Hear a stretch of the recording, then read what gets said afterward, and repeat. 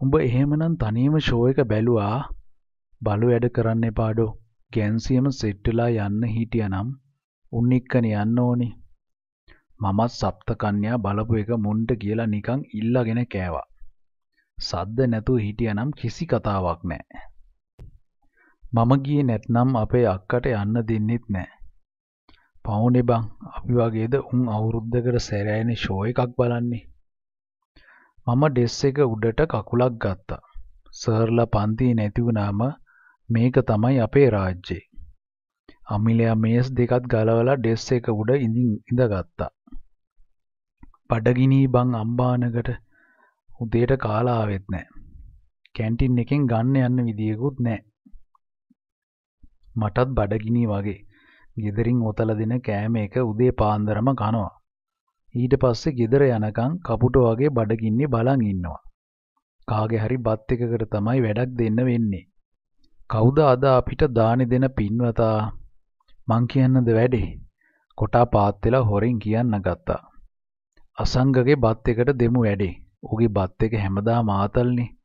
ඌ ගියා ලයිබ්‍රරියට පොත් වගේක් බාර දෙන්න. ඊට ඉස්සෙල්ලා ඔපරේෂන් එක ඉවර කරන්න ඕනේ. පව් වැඩේ ඉන්නේ බං. එතකොට ඌ බඩගින්නේනේ. ඌටත් ටිකක් තියමු. අනික ඌ මහ ගොඩක් කන එකෙක් නෙමේ. හැමදාම ඔය බත් එක ලොකුවට ගේන්නේ අපිටත් එක්ක තමයි. අසංගයාගේ බත් එක තමයි පන්තියට එන රසම බත් එක. ඒ හින්දා වැඩිය කන්න අඩුම ගානේ 10ක්වත් වට වෙනවා. ඌගේ බත් එකත් ලොකු හින්දා වැඩි ගානකුත් නැහැ. කොටාම ගිහින් අසංගගේ බෑග් එකකින් බත් එක අරගෙන ආවා. දිග ඇරියට පස්සේ සුවඳේ බෑ. අම්මට උඩු කුකුල් මසුත් තියෙනවා. එකෙක් කෑ ගැහුවා.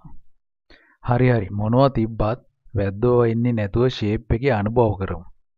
මතක තියාගන්න අසංගයටත් පොඩි කෑල්ලක් හරි කුකුල් මස් තියන්න ඕනේ. කොටා එහෙම කියලා හා පුරා කියලා අත තිබ්බා. මට දැන් බත් එකක් පේන්නේ නැහැ. තියෙන්නේ අත් විතරයි. මමත් අත් අස්සෙන් වගේ අත දාලා අල කෑල්ලක් ගත්තා. ඒයි මටත් පොඩ්ඩක් ඉඩ දීපන්කෝ බං. අමිල කෑ ගහනවා. කනකොටවත් වද නොදී හිටපන්කෝ පැත්තකට වෙලා. මට කටක්වත් හරියට කන්න බැරි වුණා තාම. එතකොටම අසංග ආපහු ආවා පන්තියට. මචං අසංගය ආපහු ආවා. මම රහසින් කිව්වා. එකෙට්ටවත් ගානක් නැහැ. දැන් මොනවා කරන්නද? අසංග වරෙන් මචං බත් කටක් ගන්න. උඹ පරක් වෙයි කියලා හිතාගෙන අපි බත් එක කෑවා. උඹ තරහ නෑනේ මචං. අනික දැන් තරහ වුණත් කරන්න දෙයක් නෑ. කොටා මේසෙ උඩ ඉඳගෙන කීවා. උඹලත් එක්ක මොන එකක්වත් තියාගන්න බෑනේ.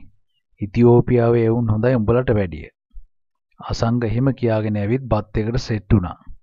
මොනවා වුණත් ඌ හොඳ එකක්. ඒකේ තව කන්න දෙයක් ඉතුරු වෙලා නෑ.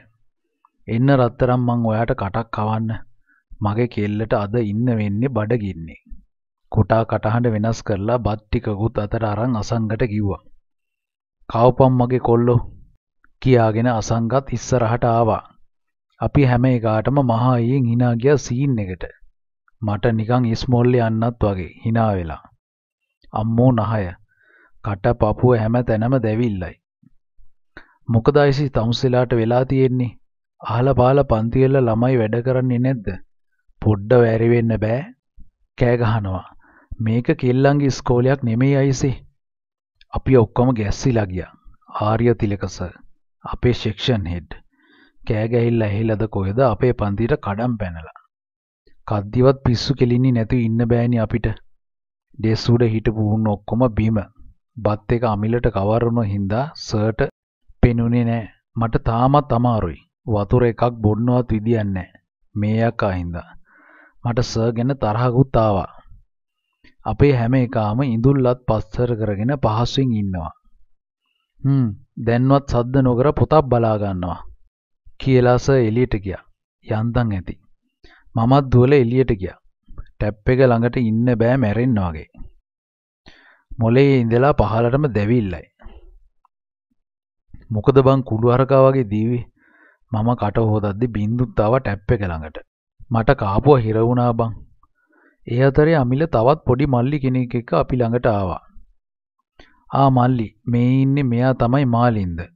ඌ මගේ දිහාට ඇඟිල්ල දික් කරලා පොඩි එකාට කිව්වා.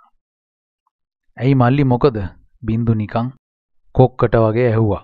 මම ගියා ඒ මල්ලි ළඟට. ඇයි මල්ලි? අයියට මේක දුන්නා අපේ අක්කා.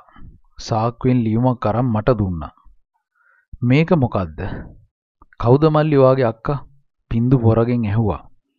නිමාෂි අයියලා එයාව හොඳට අඳුනනවා කියලා කිව්වා. ආ මේ නිමාෂිගේ මල්ලිද? තැන්ක් යූ මල්ලි මේකට. මල්ලිගේ ක්ලාස් එක මොකද්ද? 10 වසර 5. නිමාෂිගේ මල්ලිකාරයා ගියාට පස්සේ මායි බින්දුවේ ලියුමත් අරගෙන ග්‍රවුන්ඩ් එකට ගියා. ඉන්ටර්වල් එක හින්දා හැම තැනම කොල්ලෝ සෙල්ලම් කරනවා. අපි දෙන්න කෙළවරේ තිබුණු පැවිලියන් එකේ උඩ පඩියේ ඉඳගත්තා. කවරේ කැඩුවට පස්සේ ඇතුලේ තිබුණ හාප් ෂීට් කොලයක්. අකුරු නම් මුතු කෙට පරාදයි. හිතවත් මාලින්ද. ඔයා මේ ලිපිය හීනකින්වත් හිතපු එකක් නෙමෙයි වෙන්න ඇති.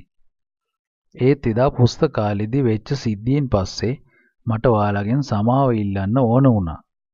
ඒක එදා එහෙම වුණේ ඇයි කියලා මට තාමවත් හිතාගන්න බෑ. එදා කොමර්ස් ක්ලාස් ඉවර වෙලා ඔයයි යාළුවෝ ටිකයි විහිළු කළාම මට තරහ ගියා තමයි. ඒත් මම කොල්ලන්ගේ විහිළු අඳුනන්නේ නැති මහා නරුම කෙල්ලෙක් නන් නෙවෙයි.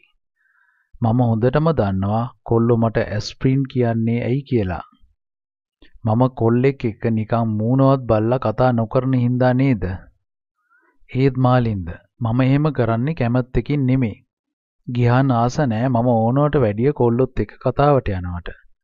සමහර විට ඒ එයා මට ආදරේ වැඩි හින්දා වෙන්න ඇති.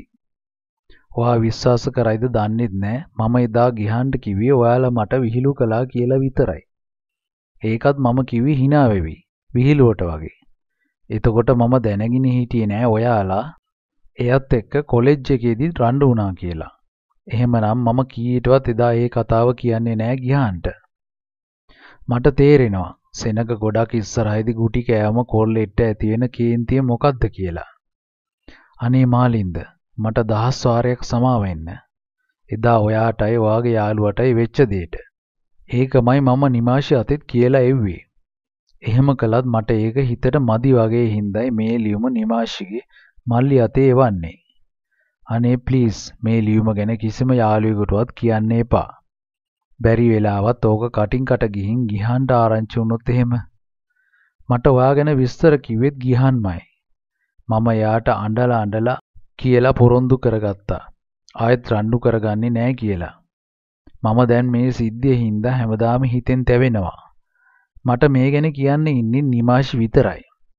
ඒකින්ද තරහ නැත්නම් මේ සෙනසුරාදා පුස්තකාලෙදී මාත් එක්ක කතා නොකලට කමක් නෑ. hina වෙලා හරියන්න. මේ සුමානේ ගිහන් පුස්තකාලේ එන්නේ නෑ. මම දන්නවා මේ වගේ ලියුමකින් ඔයාලට වෙච්ච දේ මකන්න බෑ කියලා. ඒත් මට ආයෙත් සමා වෙන්න. ඔයාගේ යාළුවටත් කියන්න. මීට පස්සේ ඔයා ඕන දෙයක් කියලා මට විහිළු කරන්න. මම තරහ ගන්නේ නෑ.